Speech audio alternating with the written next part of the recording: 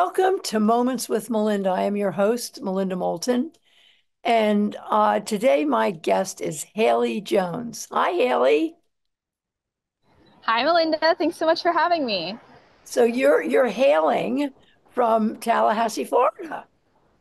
That's right. I am working out of Tallahassee this week. Well, thank you for joining us from down there in the South. Um, so let me tell my viewers a little bit about you. Um, Hayley Jones is the Vermont and New Hampshire State Director at Slingshot.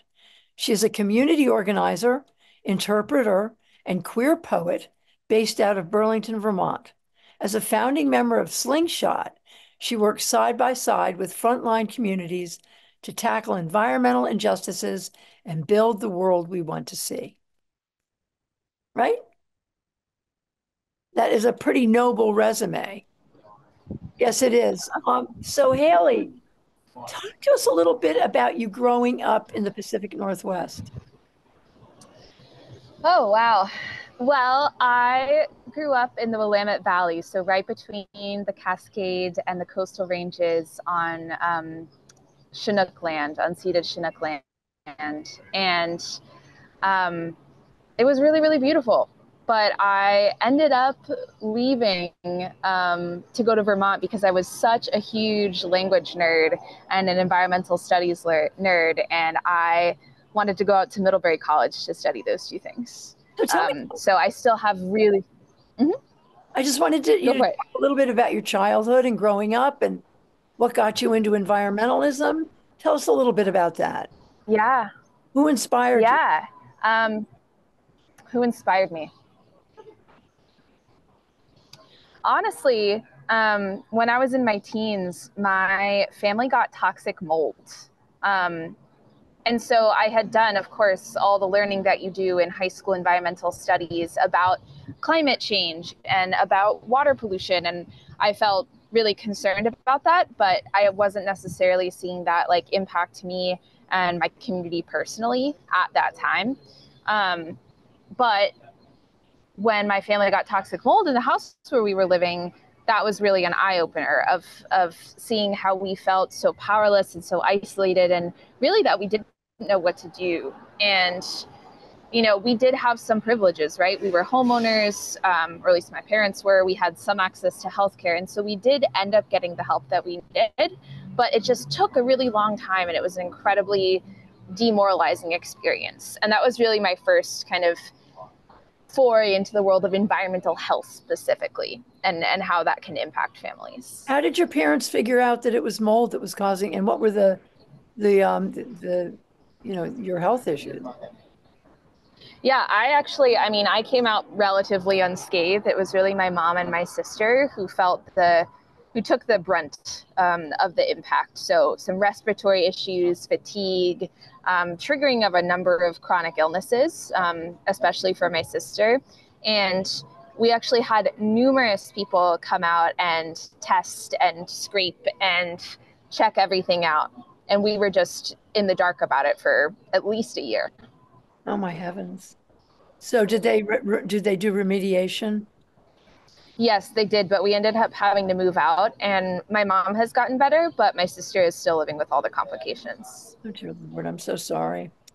Um, well, and then what brought you to Vermont was you got you went to Middlebury, right? I did. I did. And, and no, ask, ask away. Mm-hmm.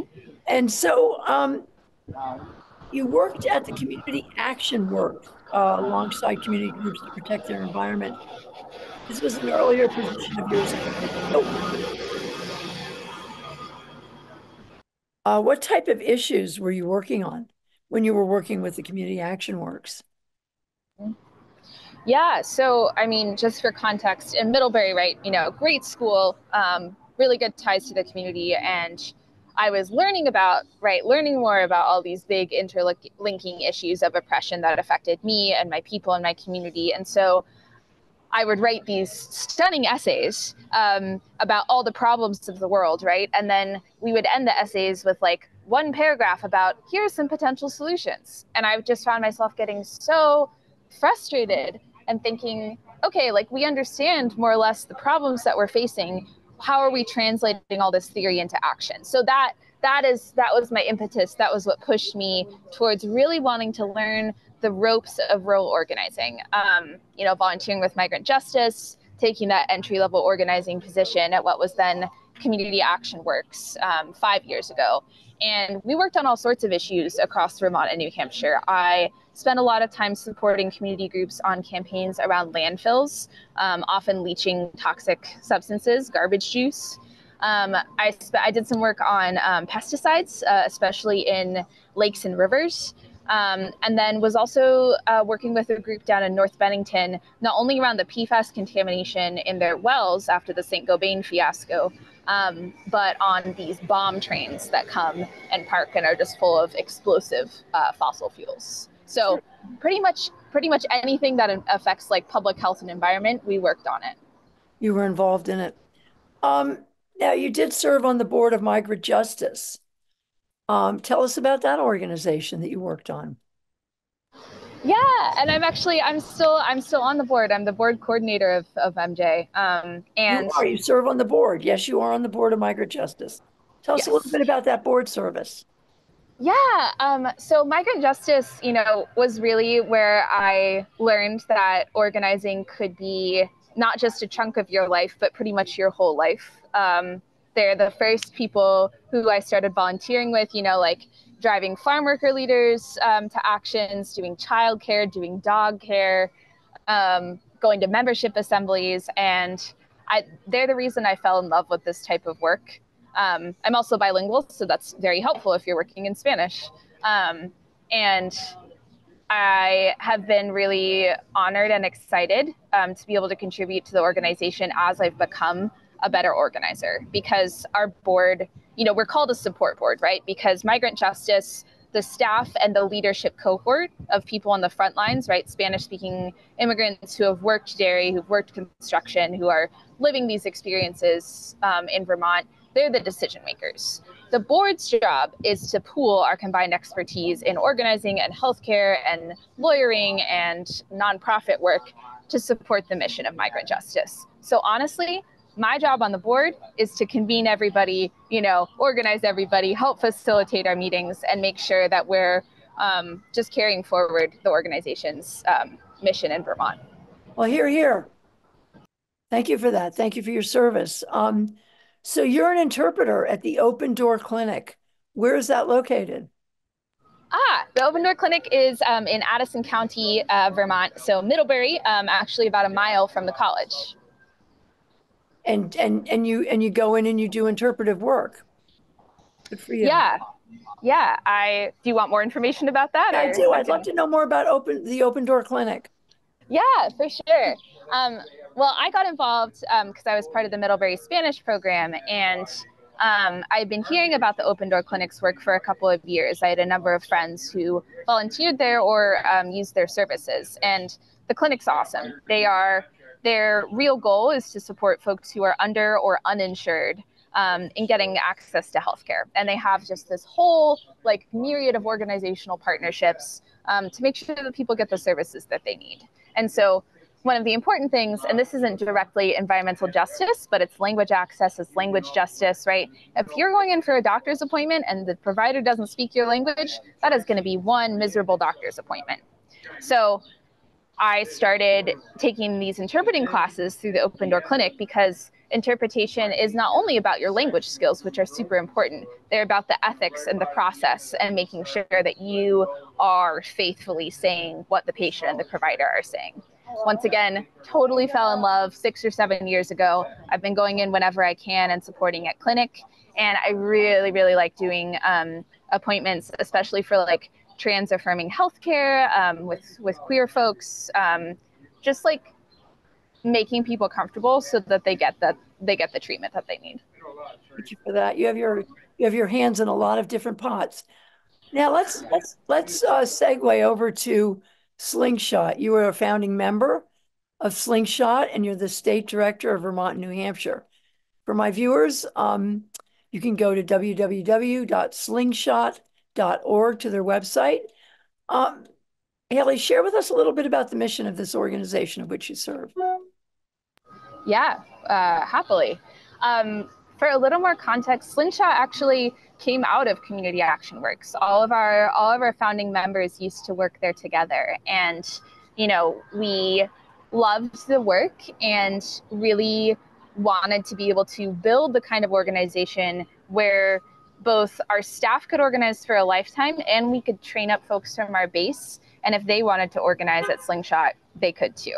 So our our real vision um, is where we as organizers are working alongside communities who are most impacted by environmental health threats, whether that's those bomb trains, whether that's PFAS in the water, whether that's you know places like the Meramec coal station. We are getting people trained up with everything that they need to build out their vision of the world they want to see, identify the pathways they can use to get there, and then win. And we also want to work ourselves out of our jobs, right? Like, I'm not here to speak for people. I'm here to work with folks until they are super powerful. They've got their groups running and they're doing the work themselves. So, you've achieved hundreds of victories during your years in the environmental movement. What do you consider your greatest victory? Oh, if I don't know about hundreds, I'm not I'm not very old, Melinda, but um all right. Let's see. I'll say dozens Dozens. a couple of hundred. Dozens. Um, what I feel most excited about. I found this online. Hundreds of victories. So, and knowing you, I figured you could easily have achieved hundreds of victories. But no, you're right though. In total. Um, in total. So, talk to me about some of your greatest your greatest victories. Yeah, happily. Um, you know, something that we're really, really excited about, and that a lot of our leaders have been really excited about, um, is a twofold both designation of two big PFAS chemicals as hazardous substances under okay. the super. Hayley, yeah. explain what a P, P, yeah, explain to me. Absolutely. Um, PFAS is the abbreviation um, for something that we think of as toxic forever chemicals. They're hyper present, uh, over 12,000 different types, and they're used in a lot of really common commercial and industrial products, whether that we're talking about um, rain gear or snowboards or your Teflon pans. They're also used in a ton of manufacturing, textiles, firefighting foam. The companies that manufacture these PFAS, they've known they're hyper toxic to human beings for a long time. It's just that we've only been discovering their presence and working to eradicate them and to regulate them for the past eight or nine years. So, what does PFAS stand for? Uh, per and polyfluoroalkylated substances. It refers to their chemical structure. Okay, thank you. Mm-hmm. So, you know, this is this was before my time. I'm not taking credit for this, but my predecessor actually got the call about PFAS contamination in wells down in North Bennington in 2016.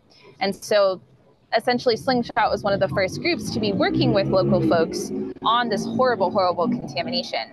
And out of that work, we formed this national PFAS contamination coalition of groups across the country who've been living with this pollution to fight for a number of things, but regulation as a class, uh, cleanup of impacted sites, um, often medical monitoring for impacted folks, um, and maximum contaminant levels, which is where the federal EPA says, hey, you cannot have more than X parts per trillion of these really harmful chemicals in your water, and we're going to need you to take care of that if you do have it. So our groups have been fighting, working on this for eight years, you know, blood, sweat, and tears. I've worked with folks, um, particularly in the south of New Hampshire, in the south of Vermont, and this past month, we got two huge victories with the EPA setting those maximum contaminant levels, which is huge, unprecedented, and then also designating two of those chemicals as hazardous substances under the Superfund Act, which gives us some real teeth to regulate and clean up these sites, and also gives us access to funding and um, legal hooks that we didn't have before. So once again, that is not me saying I did all this. It's just saying I was honored to be a part of it, and it's just like such a testament to the work of all the leaders who we've been with in the past couple years. And it was a victory. Oh yeah, two huge victories, and they have implications for Vermont and New Hampshire. So, what are the two most dangerous uh, toxins?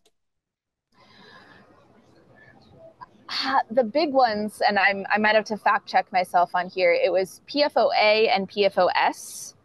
I can't tell you the full chemical names of those.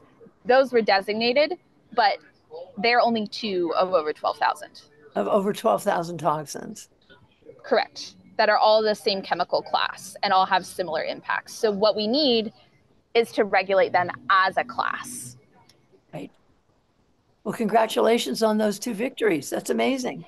So thank you. Thank uh, you. You talk a lot about, and the things I've read about you, about building community power. That's pretty much what you do at Slingshot. Talk to us a little bit about how you build community power.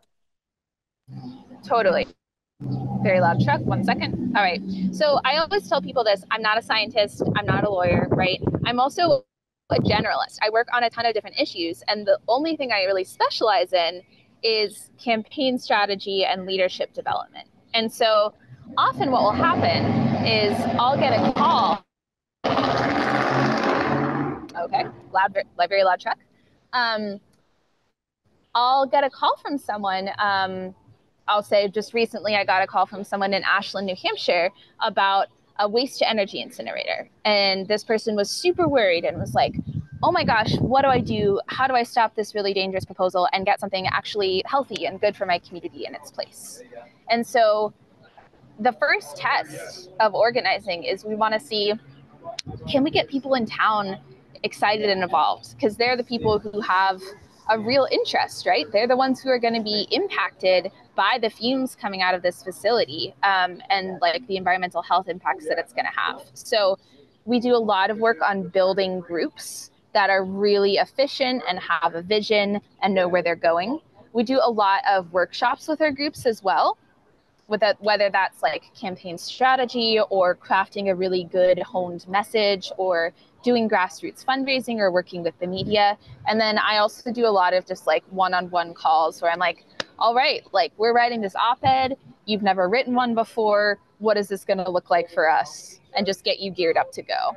And I guess the last thing I'll say, and I'm getting too excited about this, we work really locally. That's super important to us. But we also know that like people are facing similar threats across the region. So we connect groups to each other in this kind of ecosystem of hyper local grassroots groups so that people feel less alone, right? Um, and they feel connected to our to other folks who are doing the same type of work. So basically, Slingshot in, in, engages and empowers the communities to go out and advocate and fight for themselves. Absolutely, and it's really it's really a matter of hey, we're here, we're supporting you as you tap into power that you already have, right? We're not giving you anything necessarily, but we are walking with you on this journey. We're training you how to do it. I mean, a lot of people Absolutely. don't know how to be active. So exactly. how do my viewers interact with Slingshot? Um, are there volunteer positions? Uh, of course, they can donate. To all my viewers, go to www.slingshot.org. I believe there must be somewhere on your site where they can make a donation. Um, how do communities engage with you to get involved with them as they fight against environmental degradation in their towns? Great question. Yep. Great question. Thank you. Yep. First of all, donating, especially if you're not impacted by a pressing environmental health threat. Um, we also organize money, right? So there is a there's a yellow donation button on our website. We're always happy and it goes directly to our organizers' salaries, right? We're not out here buying yachts or anything. Um, if you are living in Vermont and you're living in a community um, where there's a pipeline proposed or you've discovered, you know, well water contamination, you can go straight to Slingshot's website. You can find my contact information, my email and my cell phone um, are both there, and you can just reach out to me um, and say, "Hey, I'm working on this. Can we chat on the phone and see how we can work together?" Thank you. Um, yeah, and then the last thing I'll say is even if you're not part of a most impacted community, but you have experience and expertise, if you're an environmental lawyer, um, if you've done a lot of public health, like academic stuff, we have a network of environmental justice experts with whom we connect our community groups when we need that really specialist knowledge. So you can also sign up to be part of our EJAN network, and you can just contact our info account um, to become part of that as well. Fabulous. Thank you so much, Hayley. So right now, your organization is working with more than 40 communities across six states, Maine, Massachusetts, Vermont, New Hampshire, Rhode Island, Connecticut. And Connecticut, um, are you planning to go national? Not right now. So you're going to stay regional? We've got our hands full. We've got our hands full. So share with us a story about one of the issues you're tackling right now. Hmm. hmm.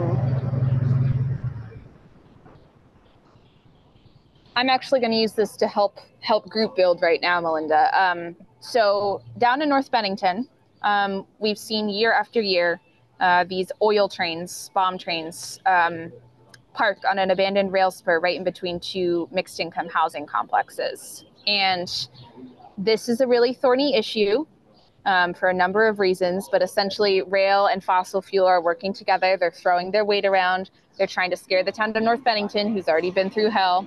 Um, but we actually have found a couple ways that we could, at very, at the very least, um, put up some resistance um, to this threat and call for you know actually sustainable health protective sources of heating so what i'm trying to do is i'm trying to track folks down in north bennington who are up in arms about this who don't want to see like this risk of explosion this risk of leakages and seepages in their neighborhoods and i'm trying to help pull a group together. So if you know anybody in north bennington um, put them in touch with me. I'm really trying to get a group together in town. Well, it's so interesting because at Main Street Landing, um, the railroad, the state, and the city wanted to put a second rail line right in right in front of our project, which has housing and retail, performing arts center. And it took a year and a half, but we fought them and we and we won. I mean, they wanted to park the diesel Amtrak overnight and clean out the toilets and service it and everything right where people sit and watch the sunset. So we had to take them on, and everybody said you'll never win. How can you beat the state, the city, and the world?" Well, we did. So that's the kind of work that you do, and I'm very proud of you. So, um, uh, what type of, um, let's move on because we're running out of time. I could talk to you forever. What is a horizontal organizational structure? Oh, that is such a great question, Melinda. And it's one that we are constantly asking ourselves. Essentially, at our old organization, we were required to have a pretty hierarchical structure. Um, which, you know, it's great if you have great people in leadership, which we did, but we found that we were reaching bottlenecks. So with a horizontal structure, we have our goal is really to have this peer-to-peer mentorship system where organizers are working together to kind of troubleshoot you know challenges that we're having with campaigns um, and to make sure that we're getting all the training that we need and so we do have co-executive directors and an organizing director who hold a little more responsibility within the organization but they are not all powerful. They are accountable to other members of the organization and to our board. So we just flatten out the leadership model a little bit so that there's less of a concentration um, at the top. Don't you? And don't, we do. Yeah, mm-hmm. I just want to say, don't you think that women do that anyway? I mean, um, women women manage in a very lineal way. Um, where I mean, I don't no offense to men, but men tend to be more managerial top to bottom. I found. Oh, my, we can do. Yeah. No, I'm I'm very comfortable offending men. It's something I do every day, and I've been. It's been really special to be a part of this um, very queer, um, very queer organization. Mostly women and non-binary folks are in leadership positions and, and founding positions and, and that feels really exciting and also like that tends to be the organizing world I've, I've found. And we have some men on our team, and they're absolutely delightful, and they are so bought into the horizontal structure. Well, we love saw, them too. I saw your board. Um, yeah. And I and I and I managed Main Street Landing at a horizontal. That's why I want you to talk about it, where there. Um, but uh, I saw that Paul Burns is on your board, and I served on VPIRG with him. Um, so uh, we're running out of time, and I want to get into some personal stuff. And I have time. I'm going to go back to the F-35s, but um, as someone who is young, relatively young, and facing a world of devastating climate change, what is your prognosis for the future of our species, Hayley? Okay, all right. Um, the short answer to that is I don't know, but, and I find this motivational, other people might not. If we're going down burning because of the crimes of the US empire and their allies, I want to go down fighting and organizing. And I want to make sure, as much as we can, that the people who have been hardest hit in the past and continue to be hardest hit, you know, our, our Black and Brown and Native communities, um, women and queer folks, uh, immigrants and refugees, I want to make sure that we're at the very least reducing the impact on the front lines. So the answer is I don't know but I'm going to be taking action with people for as long as I can. And that's what keeps me going. Good for you. I hope you live to my ripe old age of 74 and you're still Not that old. because I'm still I'm still fighting the fight too um, at my age. Um, so are you concerned about the future of our democracy? Oh, yeah, for sure. Um, I have all the respect in the world for both our electoral organizers and our folks who are working to protect democracy. It's not like the most central thing that Slingshot does, but a lot of our work we're running up against this, right? Of like who gets to have a say in determining their own features. And so it's inherently part of our work. So, yes, I'm concerned. Yes, I know there's a lot of great organizing going on, and I've seen the results very recently in Burlington, Vermont. So, it's not a silver bullet solution, but I'm feeling really excited about it. Good. So share with me. These are all these things I wanted to ask you when we had lunch together, and I was able to get my thoughts on paper. Share with me. Um, well, this is new. Share with me your thoughts about the protesting that's happening around the country in our colleges and universities. Um, so I went to Middlebury College. Yes, Um, and seven years ago, uh, a lot of students on campus said, Hey, we don't want the pseudoscientist and eugenicist Charles Murray to come. And they protested. And the college administration, I'm not talking about individual staff in solidarity, but the college administration basically said, Oh, we meant fight for justice, but not in that way. And so when students are protesting to end the genocide in Palestine, um, which is, you know, it's a racial justice issue, um, it's a climate justice issue, it's just a humanitarian issue. And administrations are saying, oh, we didn't mean for you to cause us any inconvenience or to threaten the status quo.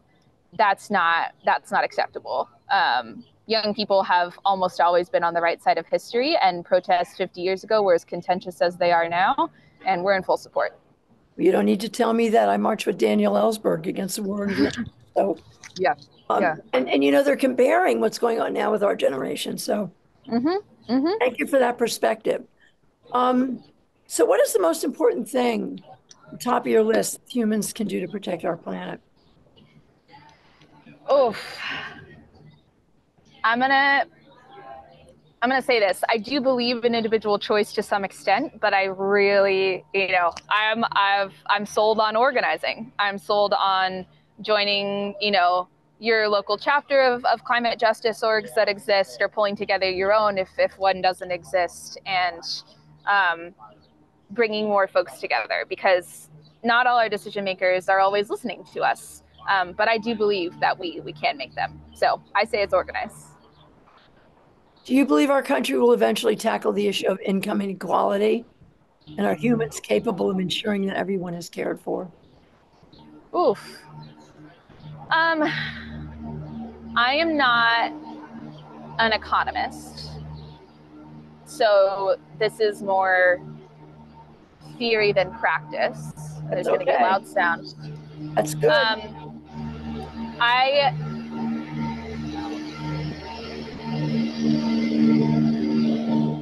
One second. it's an ice cream truck. No, it's a sweet master. It's a street sweeper. Uh, Oh, tell us, William, a big Tuesday. Um, um, I'm going to say two things. The first is I have to believe that we can to keep going. If I didn't think that level of sleeping and honestly very reasonable change uh, were possible, I wouldn't be doing this job.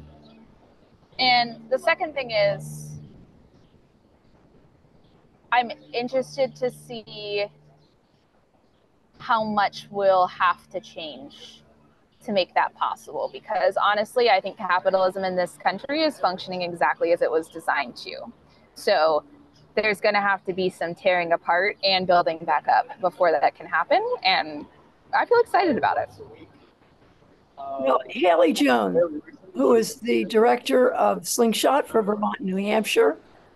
I encourage my viewers to go to www.slingshot.org and learn about this organization. Well, Hayley Jones, I, the minute I met you and we had lunch together, I knew that I wanted to have you on my show. I just love the way your mind works. I love the work that you do.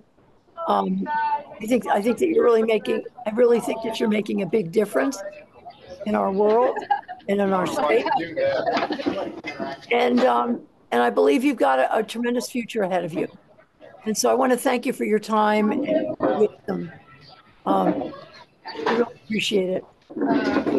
And thank thank you so much, Melinda, and thank you for for giving us this platform. You know, it's it's not just us as organizers; it's it's everybody we work with. Absolutely, I'm honored to have you on my show. Well, we'll talk soon, okay, Hayley? You got it. Thank you.